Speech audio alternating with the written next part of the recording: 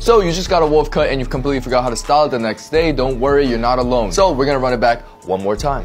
First thing you're gonna need is a blow dryer. Hold that. Next, your favorite pre-styler. We're going for a shine today. The next thing you're gonna need is a hair clip. Next, you're gonna need your hands or your feet if you're up for that challenge. Let's dive into it. The first thing you wanna do is make sure that you are prepping the hair, especially if you don't already have naturally wavy hair or haven't permed your hair recently. You're gonna need to make sure that you wet it so that when you are blow drying, it can manipulate into different shapes. Step number two is to throw in a pre-styler. For this look, we're gonna go for more of a shine, just so that when you blow dries it through, the streaks and the reflection of this hair creates more movement. Step number three is to use your clip. For the wolf cut, we're gonna go for a center part. So for the mid part, use your fingers, start at the reference points of your eyebrows, pull up to the top, and pinch the mid part right here. What that's gonna do is allow this hair to build some volume when you're blow drying everything through, and you don't have to worry about it because why? You got a clip to help you out. Now you can forget about it. Step number four is to use your blow dryer. You're gonna keep everything on lower speed and a medium heat. That way you can blow dry everything through and manipulate the hair. For the sides, what we're gonna do is pin the hair with your fingers, blow dry everything back to create a curvature and also increase the volume. The mullet hair, we're gonna piece it apart by blow drying it forward and letting it flare from the front. For the mid part, we're gonna hold onto the clip and blow dry at the roots first just to set that in place. After that's all done, you're gonna go ahead and blow dry on top just to flare out that mid part and everything will flow down nicely. Moving on to the final touches, all you're gonna need is your hand and maybe some hairspray if you're into that. Pull some hairs from the top, pull forward, push these hairs back. As far as the back goes, you can just scrunch here for more volume and go hand with it. All right, some people like more movement, some people don't. For Simon's case, we're gonna go for a lot more texture.